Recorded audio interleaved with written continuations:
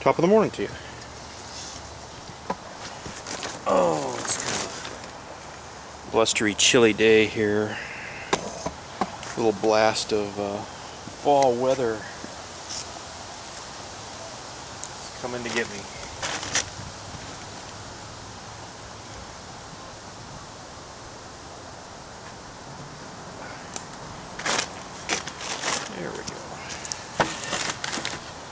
I bought a little solder iron maintenance today. I got a, uh, this is a uh, American Beauty solder iron. Let's see if we can see that there. Yep, right there. This is a 100 water. And uh, I'm gonna, friend bought by a whole five gallon bucket of these. Like a lot of my compadres. Usually it's, you can have all these if you make one good working one for me. That's a no-brainer. If I had a penny for every time I fixed a soldering iron, or a tinned one, I'd be a very rich man. FYI, that tip is just held in with, uh, it's warming up here. That tip is held in with that little set screw. And if you're going to take that out, make sure you get a really good fitting set screw and you may want to soak it in some uh, penetrating oil first. Sometimes if you if you plug these in and let them cool off and then work on them a little bit, you know, try and break it loose, try and tighten it and then release it back and forth a little bit, they eventually break loose. The other thing you're going to need is some solder. Um, either use straight, just straight solder or solder with uh, rosin core in it. Don't use the acid core solder to do this. This is uh, called tinning, hence tinning your tip is what the title is.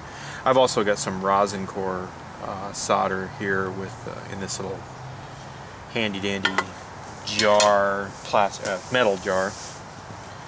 What you're going to do is put a, a, thin coat of solder on the tip.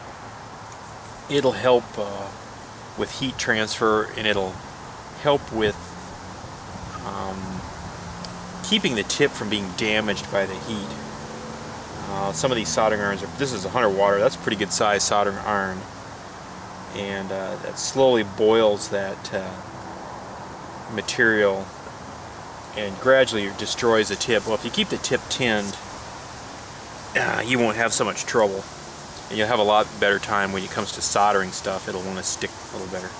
The other thing you're going to need too is a little paper towel.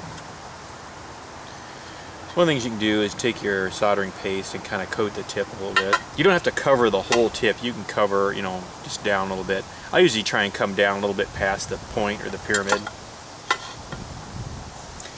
And FYI, this is a, like I said, this is American Beauty. This is a 100 water.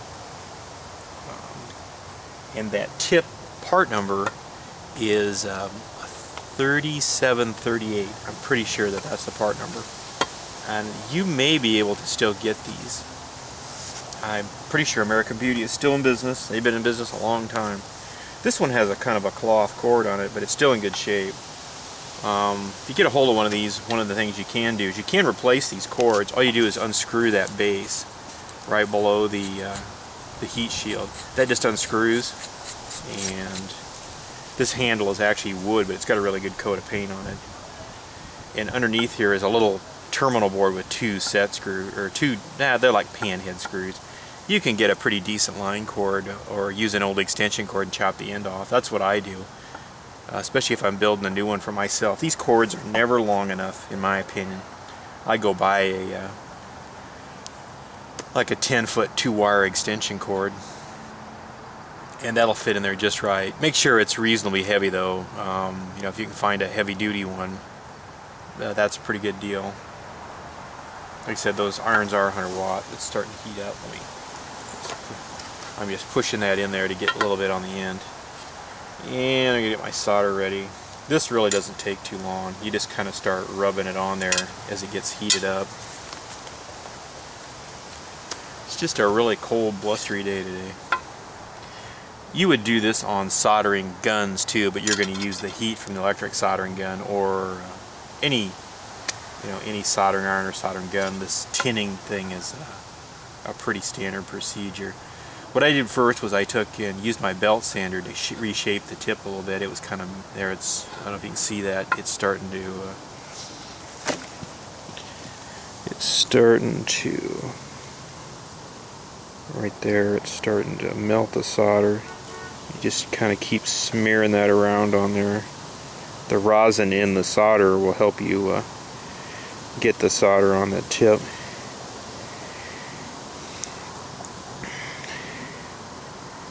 you just smear that on there it'll gradually heat up as it gets hotter and hotter and hotter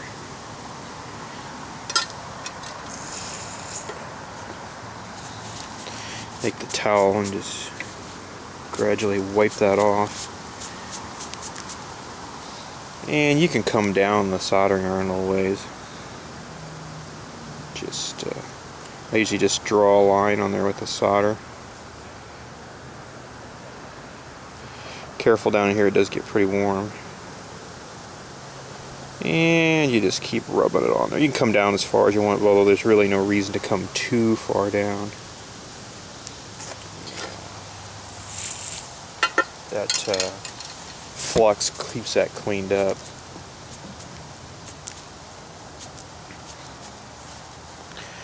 This one actually needs a little bit more work. There are a couple little spots on there that I didn't get cleaned up.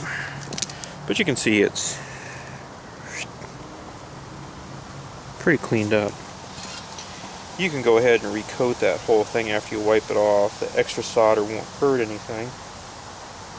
If anything, it'll it'll get into the places and pores.